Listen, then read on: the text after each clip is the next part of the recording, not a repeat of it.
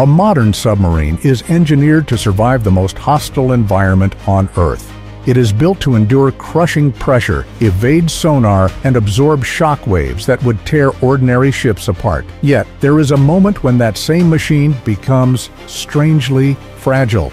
Not in the deep ocean, not during combat patrol, but while sitting still tied to concrete inside a harbor it believes is secure. No speed, no maneuver, no active sonar sweep, just steel resting in water, protected by an assumption. Subsea Baby exists because that assumption is no longer reliable. And once that reality sinks in, every naval base in the world becomes a potential front line.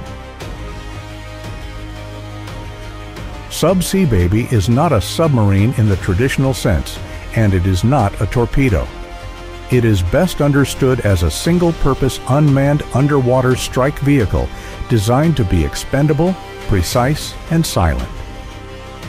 Based on open source analysis and the known lineage of the Sea Baby system, the platform is assessed to measure between 4 and 6 meters in length, with a hull diameter approaching 1 meter and a total mass likely under 1,000 kilograms. This size is not arbitrary it is large enough to carry a meaningful explosive payload, yet small enough to blend into the acoustic clutter of a busy harbor. The hull is likely built from composite materials and low magnetic metals with smooth contours and minimal external fittings. Every centimeter of the design serves one objective, move underwater without drawing attention. Speed is often mistaken for safety, but underwater, speed is a liability. Subsea Baby is not designed to sprint, it is designed to wait. Analysis suggests a maximum speed in the range of 10 to 12 knots, used only if absolutely necessary. Its true operating envelope sits far lower, between 3 and 4.5 knots. At these speeds, propeller cavitation disappears, mechanical vibration drops, and acoustic signatures flatten into background noise.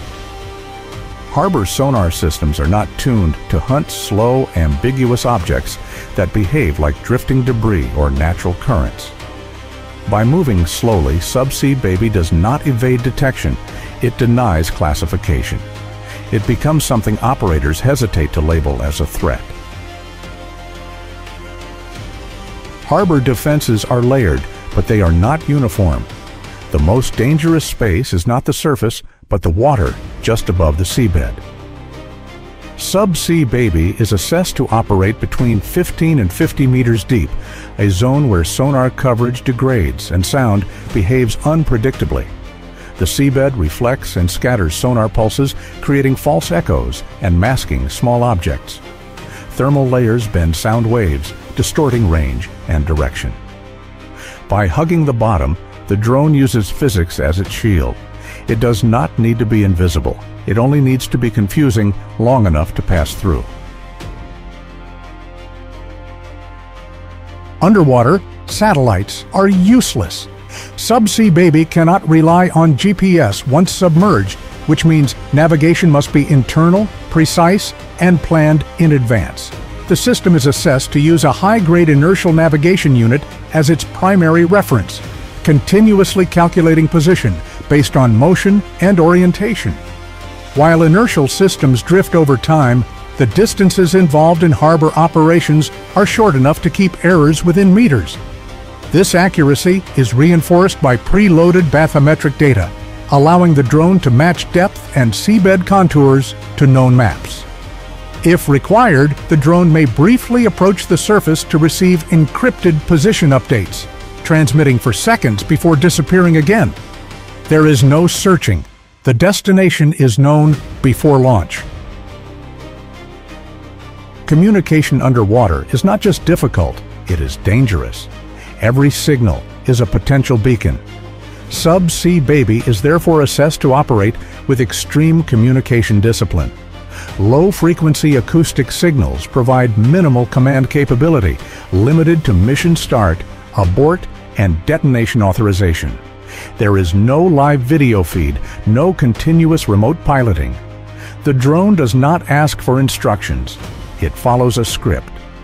Autonomy is not an advanced feature here. It is the only way the system survives long enough to matter. The true threat of Subsea Baby lies not in its size, but in what it carries. Based on the vehicle's dimensions and buoyancy limits, analysts estimate a payload equivalent to 200 to 450 kilograms of explosive. This is not a general-purpose blast charge. It is almost certainly a shaped explosive designed to focus energy into a narrow cone. Underwater, the effects of such a charge are magnified. Water does not compress easily, which means shock waves travel efficiently and couple directly into metal structures.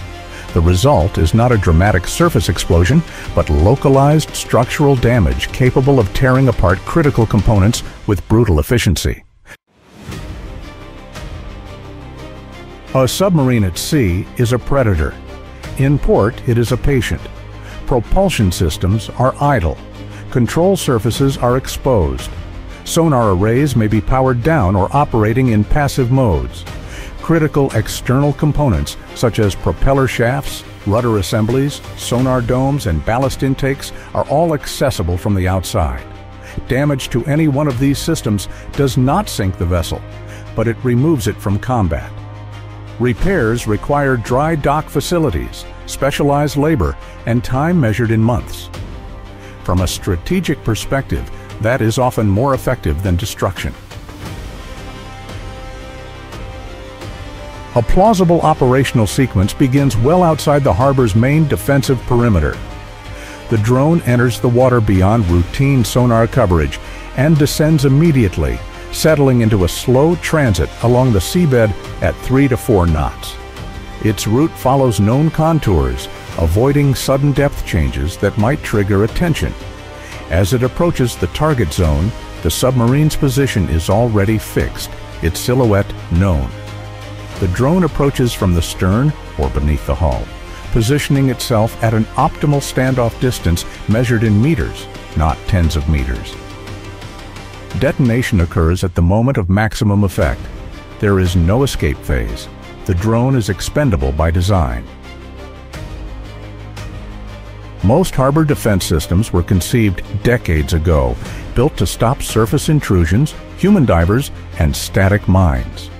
They were not designed to counter autonomous underwater vehicles that move slowly, think ahead, and do not need to return home. Countering such a threat requires persistent seabed sonar, active anti-UUV interceptors, and autonomous underwater patrols of equal sophistication. These systems exist, but they are expensive, complex, and far from universal. Many ports simply are not equipped to deal with this class of weapon. There is no independently verified evidence that a submarine has been destroyed by Subsea Baby. That matters, and it must be stated clearly. But in military planning, plausibility is often enough. Once a capability is shown to be technically credible, it must be defended against. That defense consumes resources, alters deployment patterns, and forces strategic trade-offs. In that sense, the impact of Subsea Baby does not depend on confirmation. It depends on belief. Subsea Baby is not frightening because of what it has already done. It is frightening because of what it makes possible. It turns harbors into contested spaces and silence into a liability.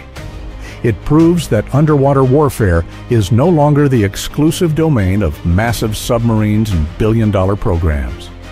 In the modern ocean, the most dangerous threat may not announce itself with speed or noise. It may already be there, waiting, moving slowly beneath the surface, while everyone above assumes they are safe.